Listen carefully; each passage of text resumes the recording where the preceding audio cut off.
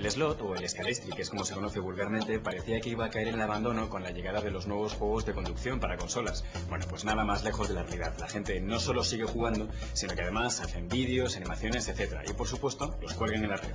Aquí están.